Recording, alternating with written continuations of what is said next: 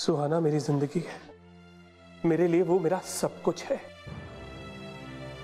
मेरे जीने का मकसद है वो। और आज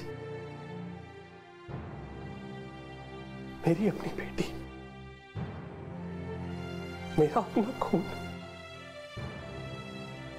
मुझे ही नहीं पहचान रहा।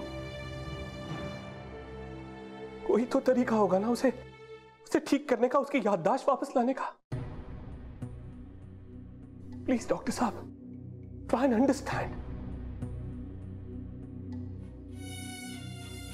डॉक्टर साहब मैं मैं मैं उसे विदेश ले जाऊँ। किसी एक्सपर्ट डॉक्टर के पास क्या लगता है आपको? वो वहाँ जाकर ठीक हो जाएगी? नहीं, संजय जी, ऐसा कोई तरीका नहीं ये सब एक्सीडेंट से हुआ है।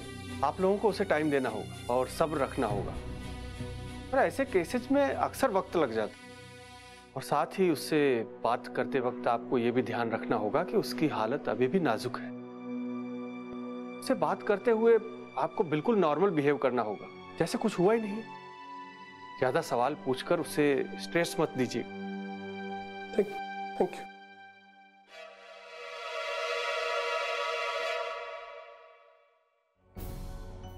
Suhana ma'am.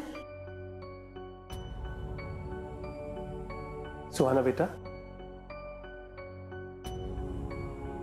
नर्स आपको बुला रही हैं। आपकी दवा का टाइम हो गया।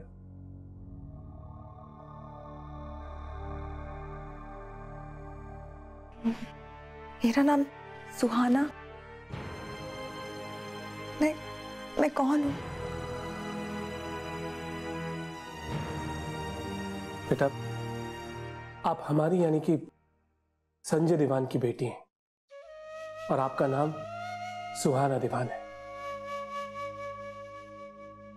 सुहाना दीवान।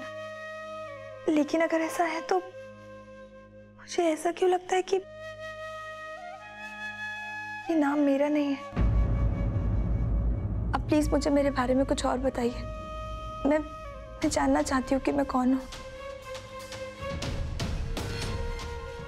बेटा बेटा एक्चुअली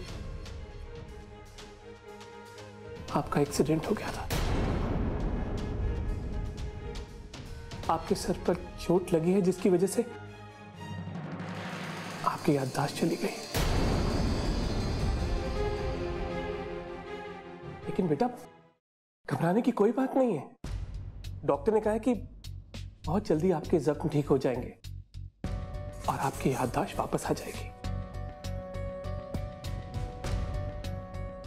बेटा please please don't take any tension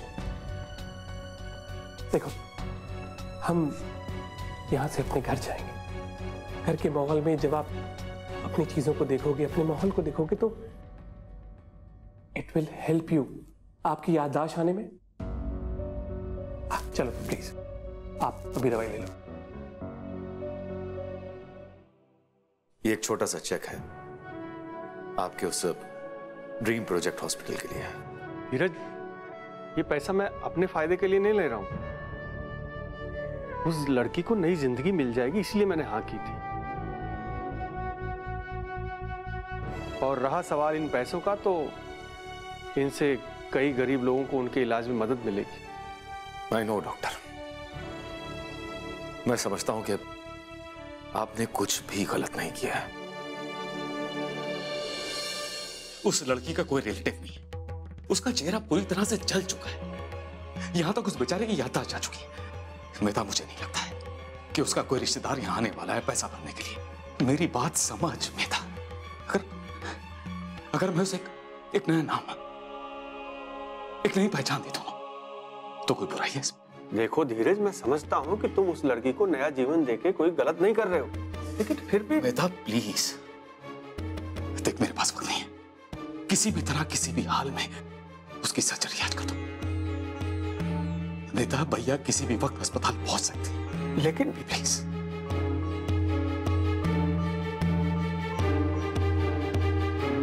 सुहाना की तस्वीर।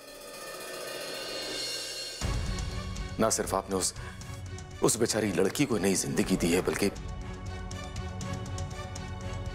हम सबको हमारे सारे दीवान परिवार को खुशी दी है। कैसे कहूँ बस? एक रिक्वेस्ट है आपसे। मेहता, ये राज किसी भी हाल में राज रखना प्लीज़ के। ये लड़की हमारे हमारे इस दीवान परिवार का हिस्सा है।